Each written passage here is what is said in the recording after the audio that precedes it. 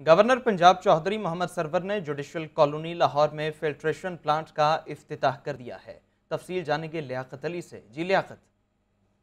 Governor Punjab से मोहम्मद सबर ने जुडिशियल कॉलोनी में जो है वो फिल्ट्रेशन प्लांट का अफ्ताह किया। इस मौका पर चेयरमैन पंजाब आप पाक अथॉरिटी डॉक्टर शकील अहमद भी मौजूद थे। गवर्नर पंजाब का कहना था कि आवाम को पीने का साफ़ पानी फराम करने के मिशन पर काम कर रहे हैं और साफ़ पानी की आवाम को फरामी जो है हुकूमत पंजाब की अवलीन तरजीह। उन्होंने कहा कि पंजाब आप पाक अथॉरिटी के पंद्रह सौ मनसूबे दिसंबर तक मुकम्मल कर लिए जाएँगे और आप पाक अथॉरिटी और एन जी एनजीओ के साथ दिसंबर तक एक शरिया पाँच मिलियन अफराद को साफ़ पानी देंगे। जी। ठीक है, शुक्रिया लियाकत।